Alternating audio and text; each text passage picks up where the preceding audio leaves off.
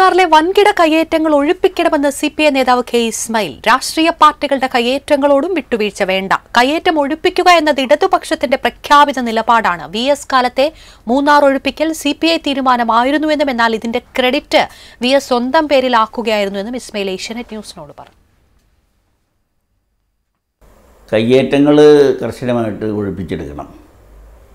കയ്യേറ്റങ്ങളിൽ ഭൂരിപക്ഷവും കയ്യേ കയ്യേറ്റം ഉണ്ടാകുന്നത് സമ്പന്ന വിഭാഗക്കാരാണ്.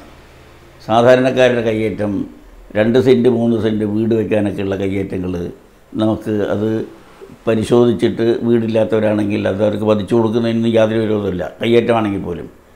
എന്നാൽ ആ തൊഴിലാളികളെ വെച്ച് ഭൂമി കയ്യേറി പത്തും നൂറും ഏക്കർ വെട്ടിപ്പിടിച്ച് പ്രമാണിമാർ ഇന്ന് കൈവശം വയ്ക്കുന്നുണ്ട്. അവിടെ റിസോർട്ടുകൾ സ്ഥാപിക്കുന്നുണ്ട്.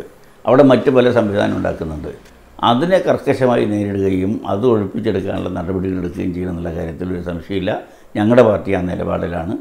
അതിലെവിടെയെങ്കിലും പോരായ്മകളോ വീഴ്ചകളോ ഉണ്ടെങ്കിൽ അത് വീണ്ടും പരിശോധിക്കുകയും ഞങ്ങൾ കർശനമായിട്ട് അതിനുള്ള നടപടികളായി മുന്നോട്ട് പോയിച്ചു രണ്ടായിരത്തി ആറ് പതിനൊന്ന് കാലഘട്ടത്തിൽ വി എസിന്റെ സർക്കാർ ഭരിക്കുമ്പോൾ മൂന്നാറിലടക്കം കേരളത്തിലെ പല ജില്ലകളിലും ഈ കയ്യേറ്റം ഒഴിപ്പിക്കൽ ശക്തമായ രീതിയിൽ നടക്കുന്നത് കണ്ടതാണ്.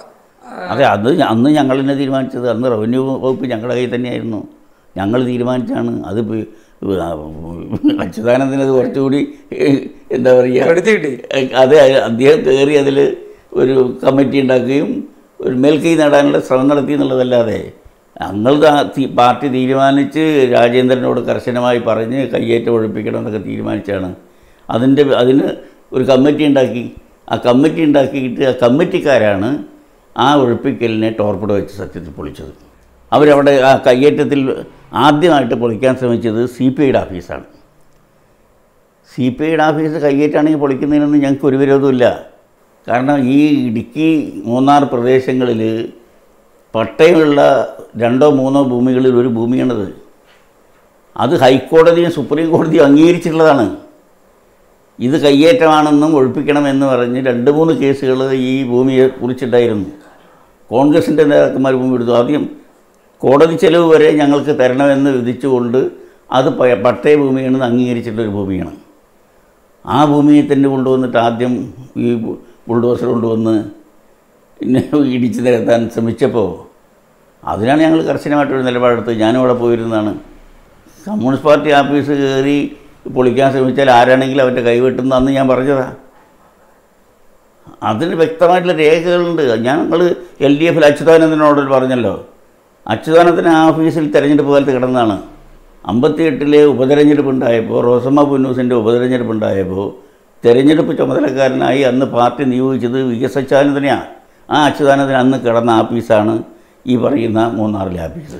അവിടെ ഒരു യഥാർത്ഥത്തിൽ ഒരുപാട് കൈവശം റിസോർട്ട് ഉണ്ടാക്കുകയും സ്ഥലം വെട്ടിപ്പിടിക്കുകയും ചെയ്തിട്ടുള്ള ആളുകളൊക്കെ ഉണ്ടാകുമ്പോൾ ആ മൂന്നാർ ടൗണ് കഴിഞ്ഞ് ഈ ബുൾഡോസറുമായിട്ട് നേരെ വന്നിട്ട് സി പി ഐയുടെ ഓഫീസ് പൊളിക്കാൻ നിന്നു എന്ന് പറയുമ്പോൾ അതിലെന്തോ ചില ദുരുദ്ദേശം ഉണ്ടായിരുന്നു. അവിടെ ഒരു കൂടിയാലോചന അപ്പോൾ അത് അത് ഇതിന് പൊളിക്കാൻ വേണ്ടി ബോധപൂർവം ശ്രമിച്ചതാണെന്നുള്ളത് കൊണ്ടാണ് അന്ന് അവിടെ അത് ബ്ലോക്ക് ചെയ്യിപ്പിച്ചത്. സത്യത്തിൽ അതിൽ ആ ഒരു ഓപ്പറേഷനിൽ അത് സർക്കാർ നടപ്പാക്കിയ ഒരു പ്രധാനപ്പെട്ട ഒരു ഒരു ആക്ടിവിറ്റി ആയിരിക്കെ ഒരു പ്രവൃത്തി ആയിരിക്കെ ഒരു കൂടിയാലോചന അക്കാര്യത്തിൽ ഉണ്ടായിരുന്നില്ല. ഏകപക്ഷീയമായി വി എസ് ആലോചന അവർ ഗവൺമെന്റ് തലത്തിലല്ലേ കൂടിയാലോചിക്കുന്നത്? അല്ല പക്ഷേ റവന്യൂ ഡിപ്പാർട്ട്മെന്റ് ആണ് ഇതിന്റെ പ്രധാനപ്പെട്ട ഏജൻസി. അതെ രാജേന്ദ്രനാണെന്ന് മന്ത്രി. അതെ. കെ പി രാജേന്ദ്രനാണ്. അത് പാർട്ടി പരിശോധിച്ചിട്ടുണ്ട്. എന്തുകൊണ്ട് അങ്ങനെ സംഭവിച്ചു? ഏകപക്ഷീയ സ്വഭാവത്തിൽ ഈ സംഭവം നടന്നപ്പോഴാണ് ഞങ്ങൾ പരിശോധിച്ചത്. ഞങ്ങളവിടെ പോയിരുന്നു. എൽ ഡി എഫ് കൂടിയിരുന്നു. എൽ ഡി എഫിൽ ശക്തിയായിട്ട് ഈ വിഷയം ഉന്നയിച്ചു. എൽ ഡി എഫിന്റെ ഒരു ഡെലിഗേഷൻ അവിടെ പോയി. എല്ലാവർക്കും ബോധ്യമായി ഇത് ഈ പൂച്ചകൾ ചെയ്ത് തെറ്റാണെന്ന് ബോധ്യമായി. യുനാനിമസ് ആയിട്ടുള്ള റിപ്പോർട്ട് ഞങ്ങൾ എൽ ഡി എഫിൽ കൊടുക്കുകയും ചെയ്തു. അത് തെറ്റായിരുന്നു എന്നുള്ളത് ഈ അച്യുതാനന്ദൻ അടക്കം അന്ന് സമ്മതിക്കുകയും ചെയ്തു. മൂന്നാറിൽ ഈ രീതിയിൽ കൈപൊള്ളിയത് കൊണ്ടാണോ പിന്നീട് കേരളത്തിൽ ആ രീതിയിലുള്ള ഒരു ഒഴിപ്പിക്കൽ ഇല്ലാതെ പോയത്? അല്ലല്ലല്ല അല്ല അല്ല അല്ല അത് ഇനിയും തുടരേണ്ടതാണ് ഇപ്പോഴും തുടരേണ്ടതാണ്. അതിന് പ്രത്യേകമായിട്ട് ഒരു തീരുമാനത്തിന്റെ ഒന്നും ആവശ്യമില്ല. സർക്കാർ ഭൂമി ആരാര് കയ്യേറിയിട്ടുണ്ടോ എവിടെ കയ്യേറിയിട്ടുണ്ടോ അത് ഒഴിപ്പിക്കാൻ ഗവൺമെന്റിന് ബാധ്യതയുണ്ട്. അതിന് പ്രത്യേക തീരുമാനത്തിന്റെ ആവശ്യം തന്നെ ഇല്ല രാഷ്ട്രീയ പാർട്ടി ഓഫീസുകൾ കയ്യേറിയാലും രാഷ്ട്രീയ പാർട്ടികൾ കയ്യേറിയാൽ ആര് കയ്യേറിയാലും ആര് കയ്യേറിയാലും. പക്ഷെ ഇപ്പോഴും മൂന്നാറിൽ സി പി എമ്മിന്റെ അടക്കം ഓഫീസുകളുമായി ബന്ധപ്പെട്ട് കയ്യേറ്റത്തിന്റെ പട്ടികയിലുണ്ട്. അത് സർവേയിൽ കണക്കെടുപ്പിൽ കണ്ടെത്തുന്നുണ്ട് രാഷ്ട്രീയ പാർട്ടികൾക്ക് എന്താ പ്രത്യേകത? നേരത്തെ കെ ഇ പറഞ്ഞതുപോലെ പണ്ട് മൂന്നാറിൽ പറഞ്ഞൊരു കാര്യം ഇപ്പോൾ കോട്ട് ചെയ്തല്ലോ അതായത് സി പി ഐയുടെ പാർട്ടി ഓഫീസ് ഒഴിപ്പിച്ചാൽ അവന്റെ കൈവെട്ടും എന്ന രീതിയിൽ പറയുന്ന നേതാക്കൾ മുന്നിൽ നിൽക്കുമ്പോൾ സ്വാഭാവികമായിട്ട് ഉദ്യോഗസ്ഥർക്ക് ചെയ്യാൻ അന്യായമായി സർക്കാർ ഭൂമി കൈവശപ്പെടുത്തിയിട്ട് കൈവശപ്പെടുത്തിയിട്ട് അത് ഒഴിപ്പിക്കാൻ വരുമ്പോൾ കൈവിട്ടെന്ന് പറയുന്നത് ഞാൻ പറഞ്ഞതിന് രണ്ടും രണ്ടാണ്. ഞാൻ പറഞ്ഞത് വ്യക്തമായ രേഖയുണ്ട് എന്നുള്ളത് നൂറ് വട്ടം ഈ സർക്കാരിനെയും രാജ്യത്തിനെയും ബോധ്യപ്പെടുത്തി കഴിഞ്ഞതിന് ശേഷം പബ്ലിക്സിന്റെ മുമ്പിൽ സി പി ഐക്കാരും കയ്യേറ്റക്കാരാണെന്ന് വരുത്തി തീർക്കാൻ ഈ പൂച്ചകളിൽ ആർക്കോ ചില ഗൂഢലക്ഷ്യവും ഉദ്ദേശം ഉണ്ടായിരുന്നു അവർ ചെയ്തതാണിത്. അതുകൊണ്ടാണ് പറഞ്ഞത്. അത് രണ്ടും രണ്ടാണ്.